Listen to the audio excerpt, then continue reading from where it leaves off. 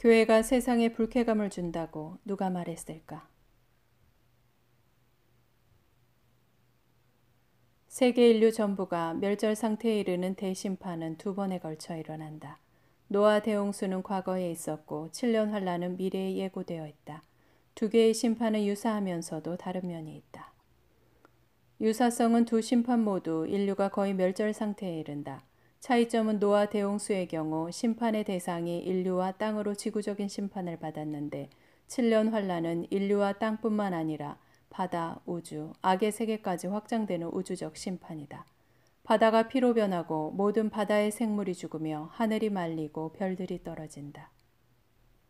노아 대홍수는 물이라는 단일 재료만 동원되었지만 7년 환란에서는 불과 대지진, 대형 우박, 피, 전염병, 태양 과열, 피부병, 전쟁, 무적행의 악령들이 총동원된다. 노아 대홍수의 기간은 약 1년이었지만 마지막 심판은 7년이나 된다.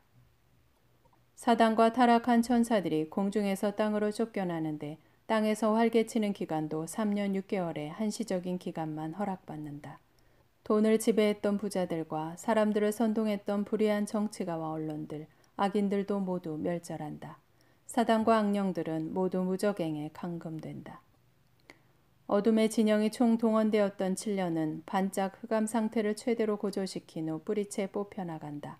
우상 숭배와 도덕적 부패와 타락, 신성 모독으로 악의 정서들과 어둠의 악취를 뿜어냈던 그들의 세계는 철저하게 붕괴될 것이다. 사단과 짐승이 지구를 통제하는 것 같지만 사실은 하나님께서 그들을 이용하여 인류를 심판하시는 것이다. 7년 환란은 악의 실체가 물리적으로 드러나는 가운데 그들의 통제가 한계를 두지 않고 강력한 권세를 발휘할 것이다.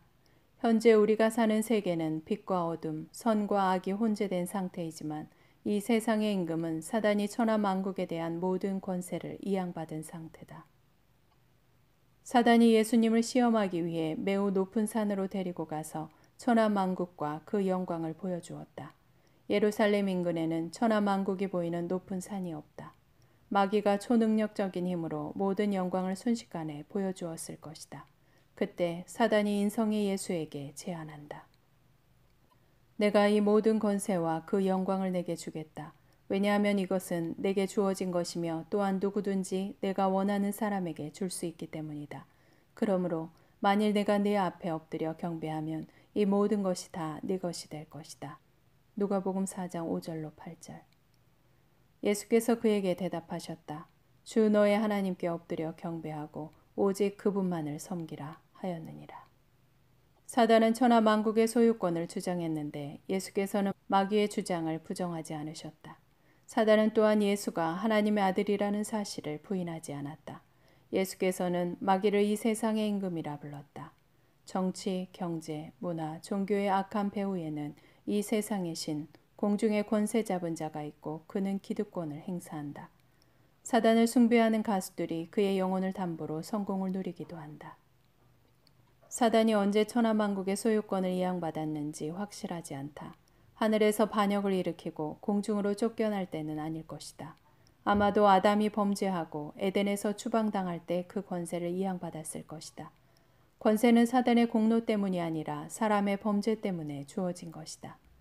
이로써 사람은 빛과 어둠, 선과 악 사이에서 분투하는 존재가 되었지만 실상 하나님의 은혜나 그리스도의 복음이 아니었다면 구원을 받는다는 것은 매우 힘겨운 일이었을 것이다.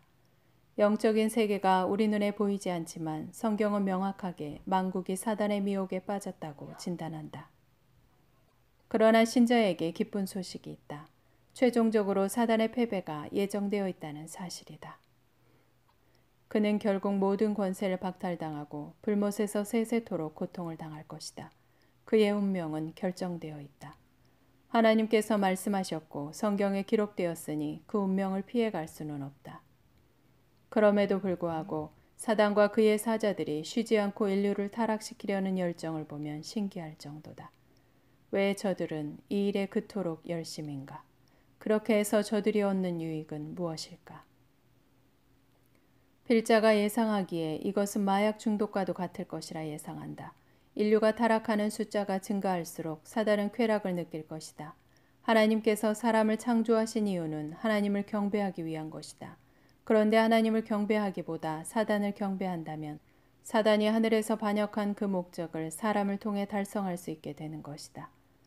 또한 하나님의 마음을 아프게 함으로써 그들을 하늘에서 추방한 하나님께 보복할 수 있다고 생각할 것이다. 지금 deep state 진영은 세계 정부를 추진하고 있다. 그들은 돈을 지배하고 길잡이 언론을 통제하는 데 성공하여 빛을 미워하고 교회 해체에 몰두하며 범죄를 정당화한다. 낙태와 동성결혼, 신성모독, 반기독교 문화 확산 같은 신세계 질서를 만들어가고 있다. 순결한 교회가 세상에 불쾌감을 준다고 누가 믿었을까?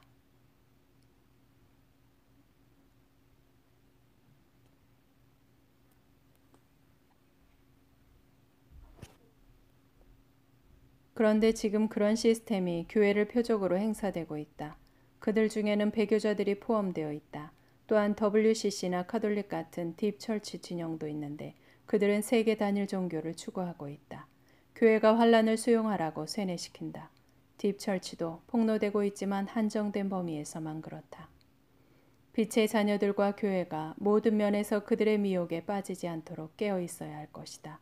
악의 정서들과 어둠의 강도가 점점 강화하며 소소한 폭정을 행사하기 때문이다. 그러나 밤이 깊어질수록 주님의 날이 가까워진다. 교회는 적대적인 세상으로부터 출애굽이 선행될 것이다. 마라나타.